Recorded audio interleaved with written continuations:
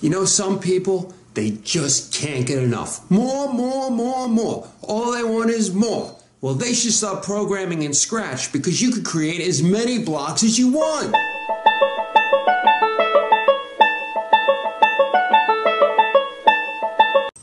So the true power of any programming language is your ability as a programmer to create new commands, typically called functions, sometimes procedures or methods. In Scratch, it's called more blocks. So we're going to create a new block, a new command called walking. So let's make that happen. All right, Scratchers, welcome back to Scratch Town. So in this tutorial, what we're going to do is use more blocks. The power of any computer programming language is the ability to create your own commands. So if you look in more blocks, you can see I've created a block or a command called walking. It takes in one parameter or one piece of input. That input is an integer, and that integer represents how many steps we want our sprite to take. So I'm going to go get the flag from events. I'm going to move my sprite to the left of the screen. I'm going to go to motion and get my go to block. So that's where he's going to start every time I run the program. And then under more blocks, I'm going to get the walking block.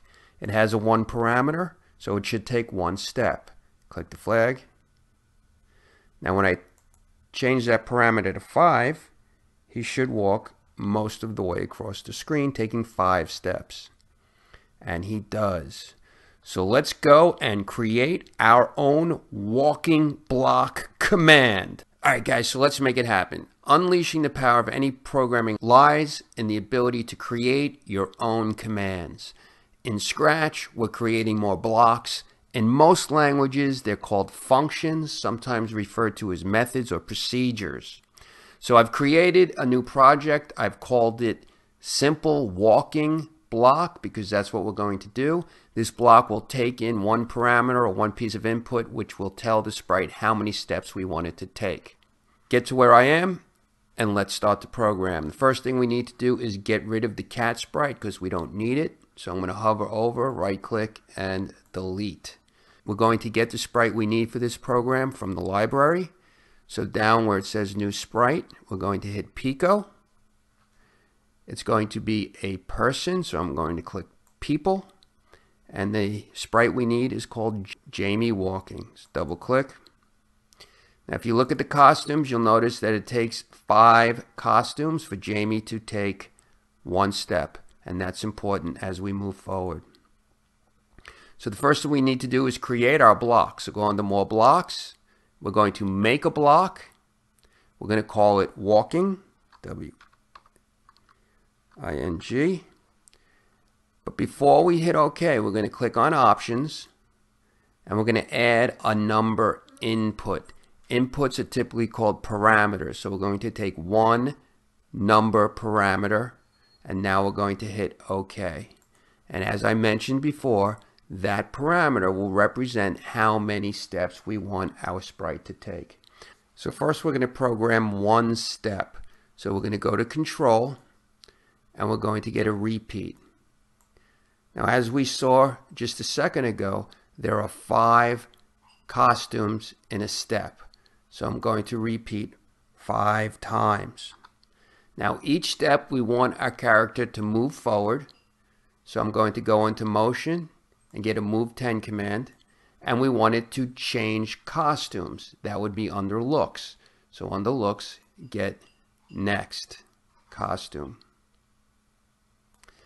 Now that's basically all we would need to do, but if you look, when I double click that block, he kind of moves real quick. So we need to control the speed at which the costume changes happen, so we do that under control, and we use a wait command. One second is too long, so we're going to wait a fraction of a second, one tenth of a second, or 0.1. So now we've programmed a step, and we want to run this block of code for every step we take. So that means we need to have nested repeat loops. So I'm going to get another repeat loop from control and I'm going to nest the step inside that repeat loop.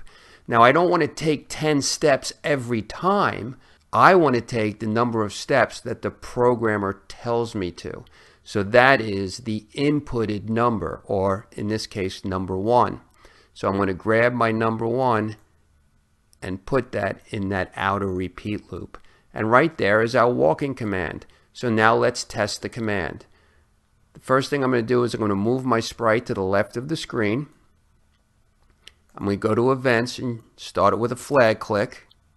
I'm going to go to motion and get the go to XY block. This will initialize Jamie at the same place every time. And now I'm going to go to my more block. And now when I click the flag, he should take one step. Now if I change that to 5,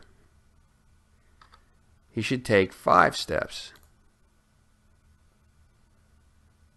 And there we go. We have created our own command, a simple walking block. Stay tuned for a future video where we're going to create a more complex walking block that takes in multiple parameters and you can actually pick which way your sprite will move to the left or to the right. All right, guys, until next time, keep on coding. And as always, like what you like, subscribe if you haven't, and we'll see you next time.